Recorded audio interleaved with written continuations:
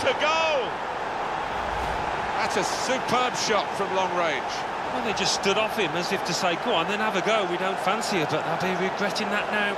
He certainly did. Great strike.